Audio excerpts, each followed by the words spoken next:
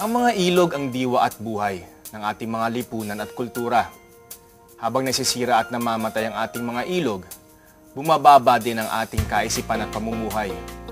At sa Pilipinas, ang ilog Pasig ang pinakamakasaysayan at mahalaga.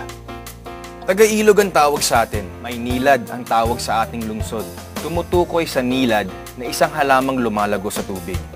Dito pa lang ay makikita na ang koneksyon ng ating lahi sa ilog. Ngunit hindi lang napabayaan kundi tila nila pastangan ng ilog Pasig sa mga nagdaang henerasyon. At kasabay nito, napabayaan at bumagsak din ang katauhan ng ating bayan. Dahil dito, inilunsad ng ABS-CBN Foundation ang programang Kapit Bisig sa Ilog Pasig upang linisin ang basura sa Ilog Pasig at ibalik ang dangal ng taga-ilog.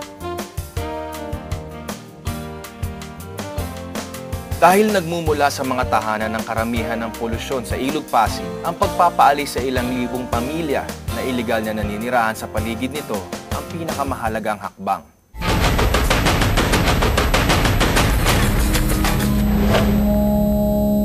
bago po kayo relocate.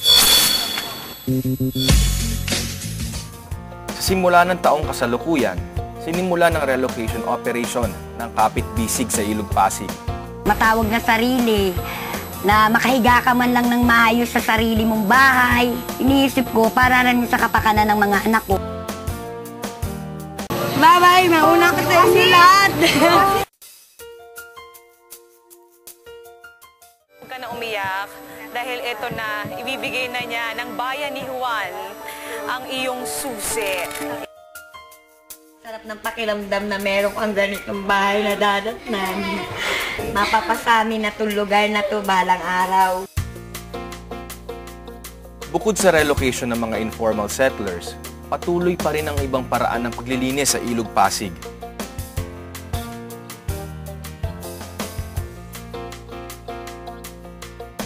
Ayon sa kasaysayan, ang Ilog Pasig ang sentro ng kabuhayan ng sinaunang Pilipino. Ito ang tawiran kung saan nagkikita-kita ang atibatimang lahi at kultura. Tayo'y magtutulungan, mabibigyan buhay natin ang ating koneksyon sa isa't isa at sa diwa ng mga taga-ilog. Sa ating pagkakapit busy, mabubuhay muli ang Ilog Pasig.